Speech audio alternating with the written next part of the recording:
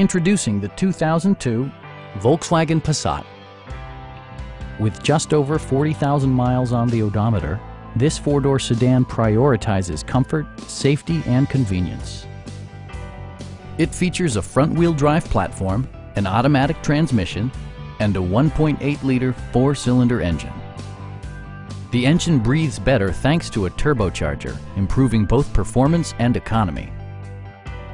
Volkswagen prioritized practicality, efficiency, and style by including one-touch window functionality, speed-sensitive wipers, an outside temperature display, front fog lights, power door mirrors and heated door mirrors, and much more. Premium sound drives eight speakers, providing you and your passengers a sensational audio experience. Side curtain airbags deploy in extreme circumstances, shielding you and your passengers from collision forces. It also arrives with a Carfax history report, indicating just one previous owner.